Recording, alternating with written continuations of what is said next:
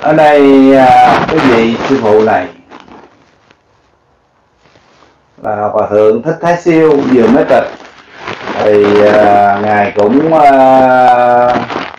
tạ ân ân sư của kiệt ở chùa làm chủ trì của chùa kiệt, kiệt ngoài cái núi Thiên Long Sơn còn có ngôi chùa đó không quý vị? Chùa lớn mà chùa đó rất là lớn nó làm cái building 50 ngàn square feet hồi xưa đang à, đang làm cái hãng cái nổi thành chùa. Thì uh, tụ tập vô đó cũng mấy nghìn người được đó. thì làm cái lễ bữa sư phụ là tôn giả đệ tử của Phật A Di Đà thì nhờ sư phụ á thì mới biết là có Phật A Di Đà thiệt ngài có thật.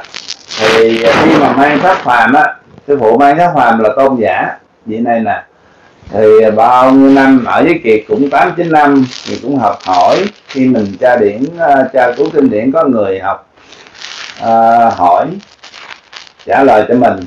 À, ân sư sư phụ chính của kiệt đó là hòa thượng tư hóa ngài ở trên vạn phật thánh thành đó người tàu.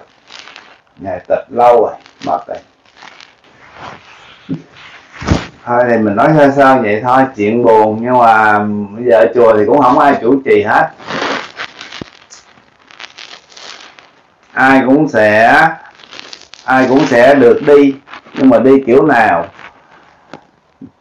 Cái ngày buổi tối đó ngày còn không có bệnh gì hết, bình thường thôi, nửa đêm cái tự nhiên đi. Đi thì bữa giờ cảnh sát hai ba tuần nay nó khám cái thi thể coi ờ, có ai ám sát gì không? Chứ ngày mạnh thân sẩn mà đâu có gì đâu, phải chết. Nhưng mà có lệnh thì phải về thôi. Gọi cái rồi đi lên đường.